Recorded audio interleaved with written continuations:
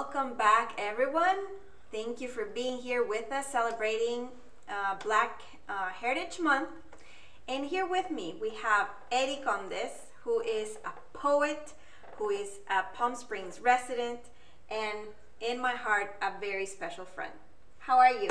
I'm good, I'm good, man. Welcome to Palm Springs Library. Thank you. Um, you and I have been here working together for what, five years now? Yeah, más o menos, yes. Yeah. About five years, yeah. Yeah.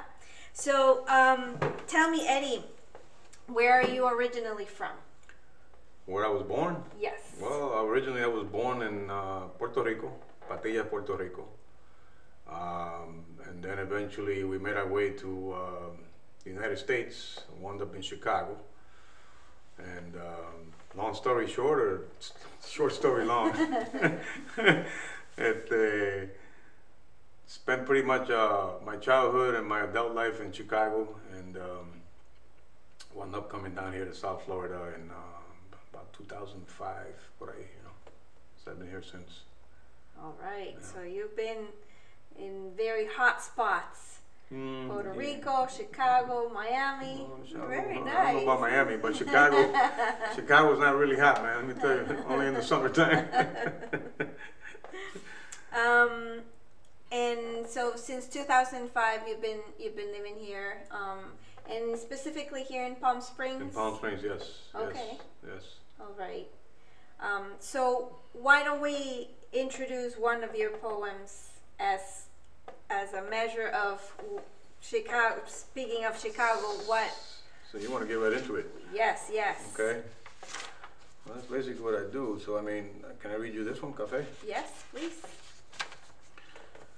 um, during interviews, I, I tend to like to read more poems and read poetry than actually answer questions and talk, but we'll do a little bit of both. Yes. But this poem is called uh, Café Colao, and I wrote this back in 2002. Uh, Café Colao is the name of a small bakery and cafe in the Puerto Rican neighborhood of Chicago. Café Colao remind you of the finca, remind you of mondongo y sancocho y cuchi frito dreams, remind you of jazz, of jíbaro music, of La Patria, mi isla, remind you of los viejitos y viejitas that walk and smile strong like warm mountain tropical embrace. Remind you that we are human, that we are, that we are Puerto Rican, that we are, that we are Boricua, de tierra pura y mi gente dura, donde el café colao cura todo que te duele, donde nació, donde nace el amor. So very good. This is amazing. Yes. It my my I, I get goosebumps. Um, this is this is um, this talks to the soul. It talks to the heart. Um, so, what made you come to Florida, Eddie? Well, um, I, I worked outside in uh, the city of Chicago. I was a city employee, um, but I literally worked outside. You know how some folks have a city job and they go to an office and they go inside. Well, we didn't do that. we went to the office and we got on a truck and then we went outside. I, uh, I was in the electrical department uh, in my latter years. Um, and I think the cold weather, as I got older, just kind of took its toll on me. You know, when you're younger, it's like, oh yeah, this is cool, you know. But as you get older, and especially uh, working afuera, it, uh, it, it takes its toll, man. And um, we started visiting Florida from uh, some um, some neighbors that we knew that actually became like our second mother and father. This Cuban couple, man, beautiful, beautiful people. Um, they moved down to West Palm Beach area back in like 91, por ahí, 92, and, and we started to visit them. You know, we they, we got invited uh, to visit them, and, we, and I I, um, I started coming down to West Palm Beach area about 92, 91, 92, around that time, and I just fell in love with it. I fell in love with the area. It reminded me a lot of uh, the memories I had of Puerto Rico. You know, uh, I mean everything. The uh, los sapos, the frogs that were smashed on the street. I remember that. Los lagartijos, you know, the little lizards the coconut, the trees, the palm trees. I mean, everything just reminded me of Puerto Rico, man. So uh, eventually, um, I think that's where my heart was, and uh, you know, thank God that I was fortunate enough to retire at the age of 50 Okay. uh, from my job in, in, in Chicago, and um, I had 30 years of service. So I took it. I took it. I took that uh, opportunity, and I said, you know what? That's where I'm going, man. So that's how I wound up over here. Very good. And when did you think that inspiration started, like, to hit you as a poet? As a feeler of words, Yes. um, I think pretty much throughout my whole life. I mean, even when I was a kid, I would kind of think about words, but I never really wrote them down. Mm, Um, but I think I really started uh, putting words down on paper, like maybe first, second year of high school. okay. You know, when I really started really getting, I guess, serious about it and Mm. just going ahead and letting it flow. You know. Um, I don't know if I've ever really considered myself to be a poet. I was explaining to you beforehand. because there's, there's a definition of, of poetry, of poets, and uh, I don't know if I've ever fallen into that category, you know. Um, they say it's maybe spoken word. I don't know what the heck that is. It's kind of like the word Latinx. I don't know what the word, what that word is either. But um, I don't know. I it's I just write. I guess I write from the heart, not so much from the mind, you know. Mm. So, but I guess yeah, I guess I am a poet Do you, at the age of 65, man. you know. do, do you do you think that you had any influence um, from someone, or did you read something? Uh, well, you know, in, in high school we started reading uh, literature. I've always, you know, actually uh, that was my dream to become a, a professor of literature and, and go to college, but it just never happened. Um, so I guess in high school uh, we would go to uh, different uh, outings and things like that, and I was exposed to, and they had people come into the high school to do. There was one guy in particular. Uh, he actually became the godfather of my daughter, David Hernandez. Uh, may he rest in peace. Uh, who came to our high school and, and he did a poetry reading. And I, I just completely fell in love with it, man. I said, wow, so this is what it's all about, you know? I mean, he was heavy, heavy, heavy. And I actually became part of their group. Uh, he invited me to be part of their group. Uh, it was called uh, Nosotros. We actually came up with an anthology. Uh, we would do these workshops, man, like every, on the weekends uh, in the north side of Chicago.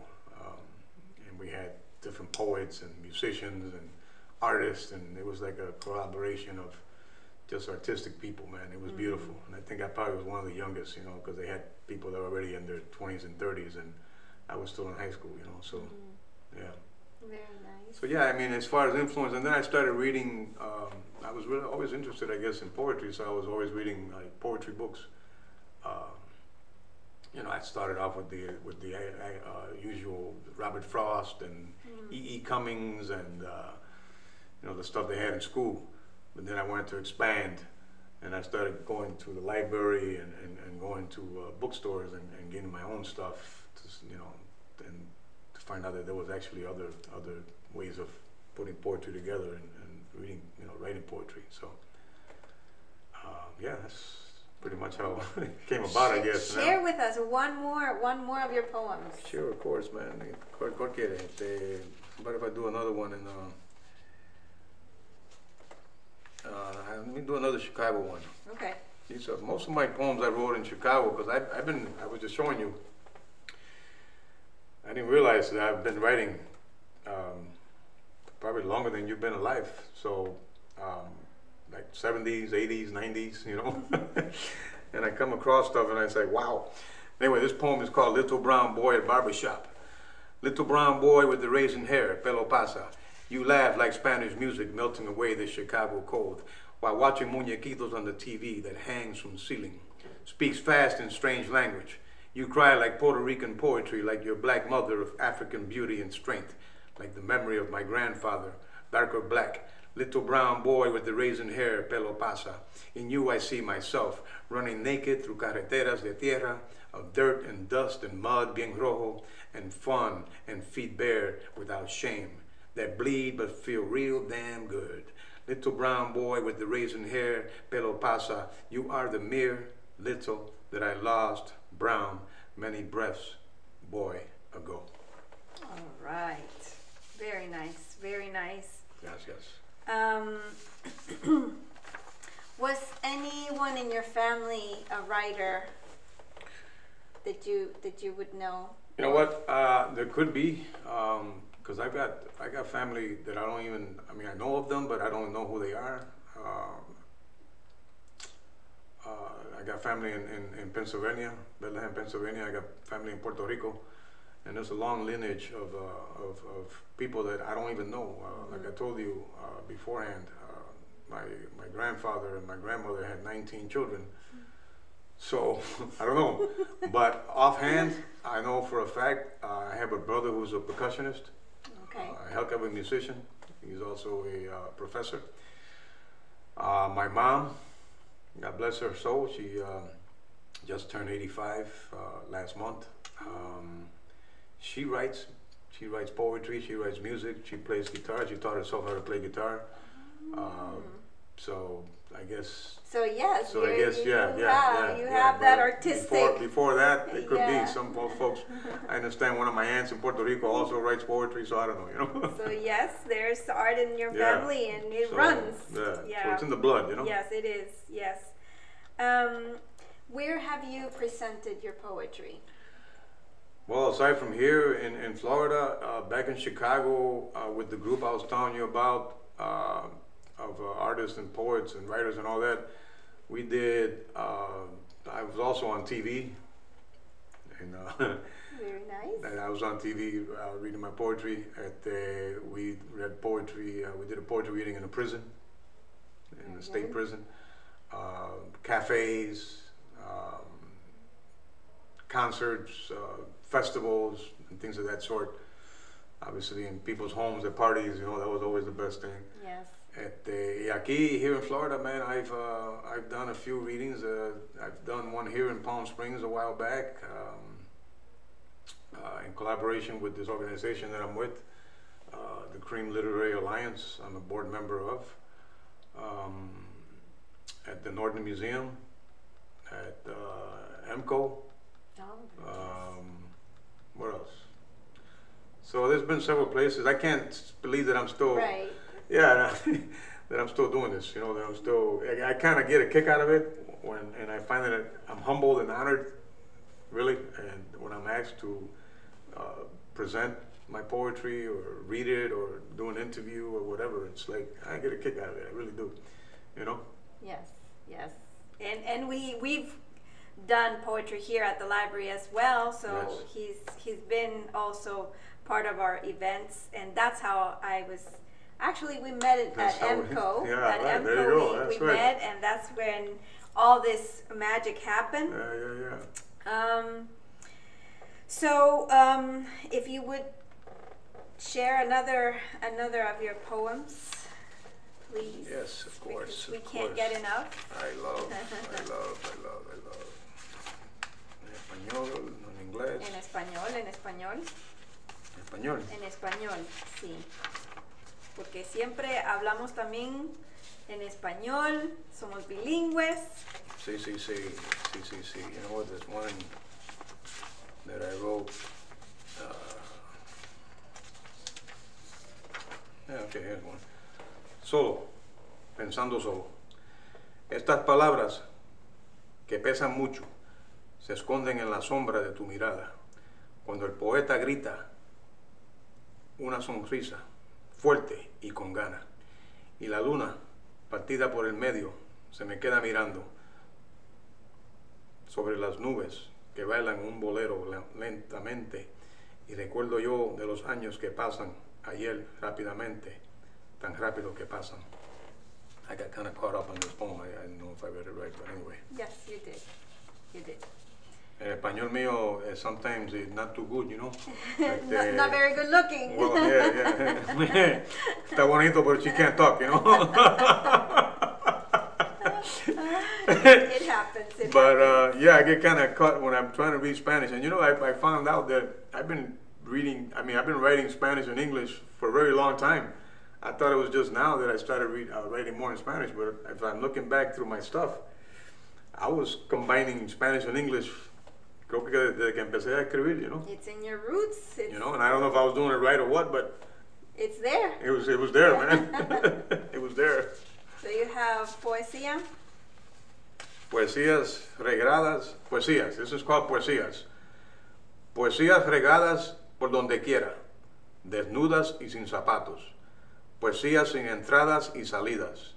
Poesías que lloran y gritan, una canción con ojos cerrados. Poesías que duelen bien duro cuando te miran de lejos. Solamente el viento, solamente el viento sonríe y el cielo abre con lágrimas frías, como estas poesías que se esconden en las sombras de mis sueños, donde estoy despierto. Very beautiful. Beautiful. Gracias, gracias. Um, so,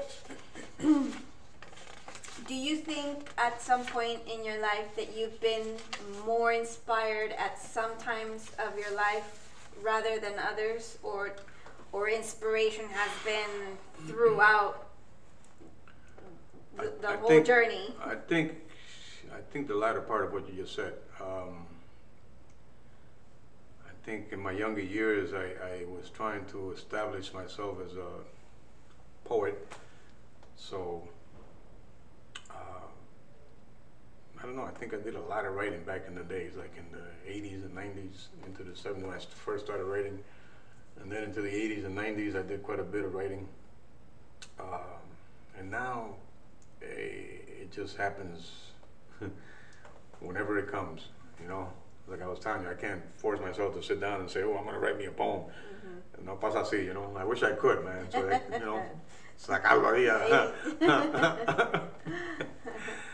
ah. sacarlo con fuerza. I don't know, but um, yeah, probably in my in my younger years, uh, I did a lot more writing. Um, I think I, maybe I was going through quite a lot of lot of things, you know. Mm. So. Okay. Um, well, we, we, you were talking about how how your Hispanic background has also influenced you by by the language, by by just expressing yourself in in, in that way. Um, do you think any other things from your be- Hispanic background has influenced your poetry? Maybe the music, since you're Boricua. Well, you know what? I, I am I am I am Puerto, Puerto Rican. Soy boricua. Um,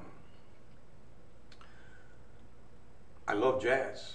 I love jazz music, which is uh, I don't know how odd that is for Puerto Rican, but I've loved jazz music for a very long time. I love uh, my folkloric música de Puerto Rico. Um,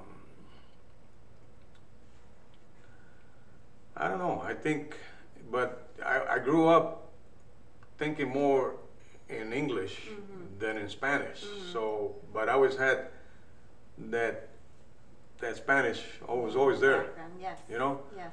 Because when I was growing up, uh, you know, back in Chicago as a kid, man, um, you know, they didn't have no bilingual education. They didn't, you know, you were. Matter of fact, I started school uh, at the age of seven, and they put me in first grade, so I bypassed kindergarten. I didn't even know they had preschool. Um, and the main thing was for you to learn English Yes. speak in English, write in English, you know, be articulate in English. So, um, thank God that at home at least they spoke Spanish. You know, we did everything in Spanish. You know, Yeah. the, the meals and the gatherings, and you know, they weren't too keen with speaking English. So that was a good thing, I guess. You know, now Yeah. that I think about it. So Yeah. Because it, it's still there. it's and still there. It's still there. You know, um, not as well as I would like it to be. Uh, I would love to be able to speak and understand Spanish um, in a more academic level. But hey, it is what it is. You know. Unless I go back to school now at the age of 65, I don't know how that can happen, man. dreams are dreams. And know? Everything can happen. All right. Do you have um, another poem that you would Oh, I like got- to I share? got- I got know several you've poems. got plenty. He's got, I've got plenty. several poems here. Yes. You want another one in Spanish? Okay. Uh, we're talking oh, I about forgot, it. I forgot to uh, mention when I wrote that. Yeah, let me see. Okay, this one I wrote in 2019. Uh, and this is called Aquí en Sur Florida.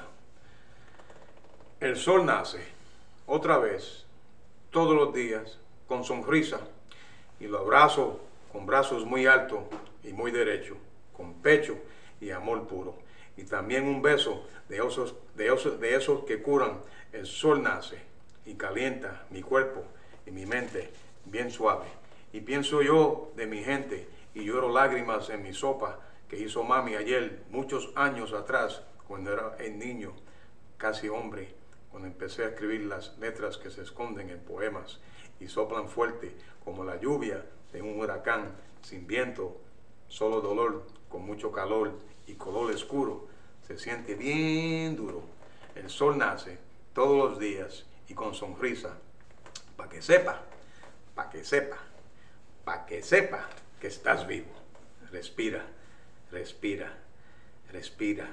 Simplemente el sol nace. Muy bien. Awesome. Oye, me, Beautiful, me enredo, me enredo con mis palabras. Español, concho. That's okay.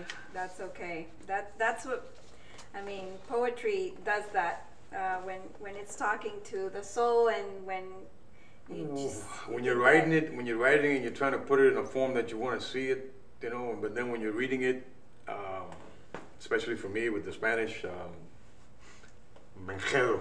Yes. Me tengo que poner un, un plátano en la boca para poder hablar Yes. español. Yes, I don't know. Once you deliver it, it's something that that it's it's not no longer yours. It's for someone else, and it just it, it's it's a it's a big thing when when you put a uh, like it becomes something else when you Mm. put it out there, and That's a way, good definitely way of putting it, man. I love that. Wow. yeah yeah. Beautiful. Um, so, do you have any advice for the writers out there? My advice is to keep writing, I guess. Um, to read, read as much as possible, whatever you you're into, um, and just right, man. I know sometimes it's you know with life gets in the way, um, but sometimes you just have to find the time. I don't know. Like for myself, I, I it, it comes. If it doesn't come, forget about it. It's not gonna happen. But some, for some folks, like maybe, you know, writing short stories or essays or things of that nature, they might be a different uh, avenue, you know. So I've always wanted to be like, you know, those people you see on, on, on a movie or something where they sit in a typewriter, you know. Speaking of typewriters, I love. I, I used to have one of them old black typewriters, man, like chick, chick, chick, with a ribbon. I love that type. I don't know what happened to it. But I would love. I always love to be one of those writers, you know, where you sit down and click, click, click, click, click, you know, and you type away. Um, but anyway, Do you think, um, as a writer, and do you think that you get more out of when you're going through like a negative experience rather than a positive experience? it's an interesting question because um, I think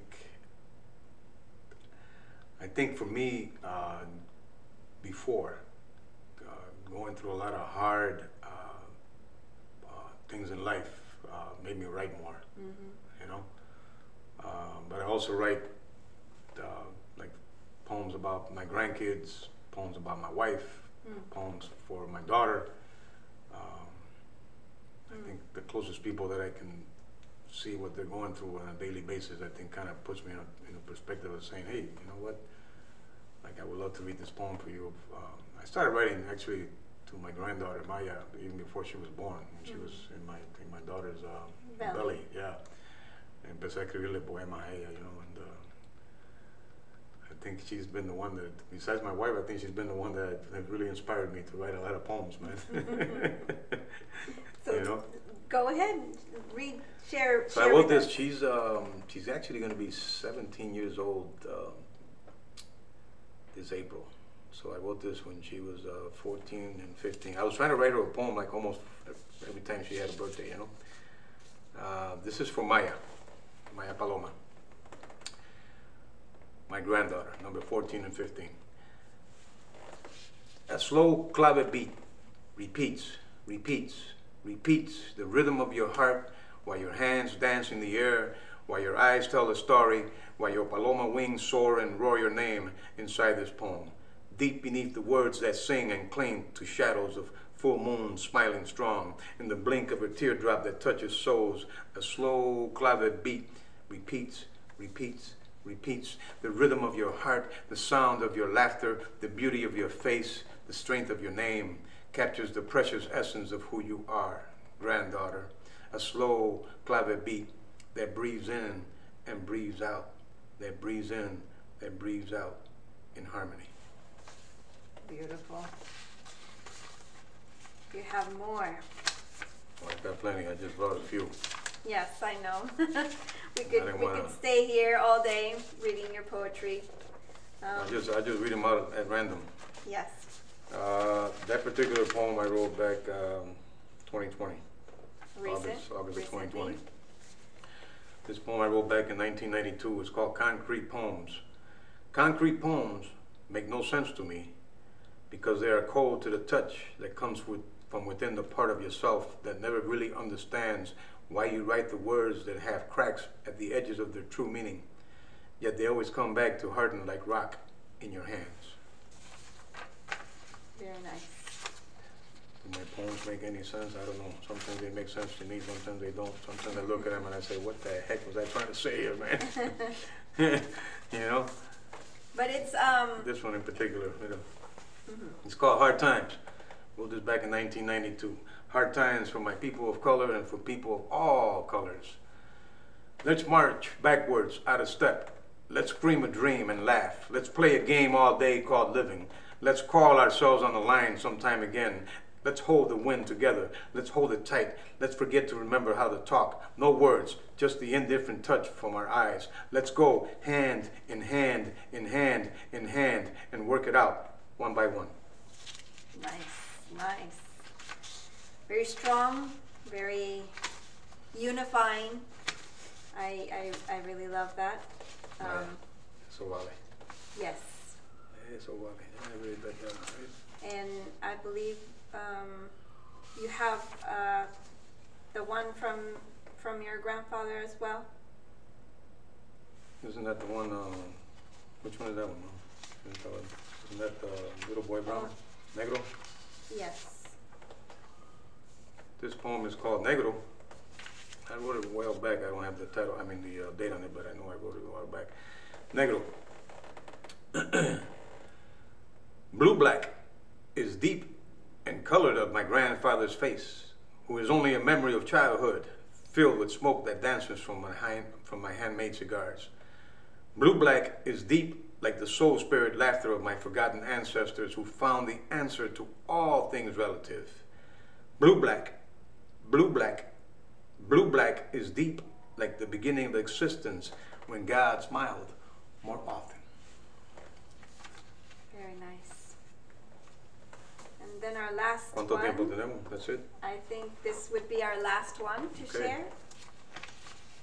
Already? Then uh, let's, let's, let's uh, go out with this one then. Let's go out with El Viejo. That's basically what I am. Un. Don't feel like it, but sometimes I do. this is called El Viejo, para Don Agustin. and this poem I just realized I wrote back in uh, May 12 of 1977. El Viejo para Don Agustin. A bag, paper brown, on your head to keep the sun from your eyes. You know, your voice no longer makes music like when you were young without wrinkles on your body, and now you only gesture about beautiful things like the birth of children and the rain that comes without warning. Your name, Don Agustin, I remember well, your small smile bright as Puerto Rico going back home someday dreams. Pero aquí, you stay for lack of language, of your eyes all worn and gray bait like your hands which touch the skies on mornings of roosters cantando y café colado y pan con mantequilla smells of earth wet under your bare brown feet callous from the mountains you've climbed mil veces in your life mind vida has reflected its warmness into mine thank you Thank you, everyone. I hope you enjoyed this interview with Eddie Condes. Please give him a round of applause back at home. Thank you so much. gracias mm, Bye bye. gracias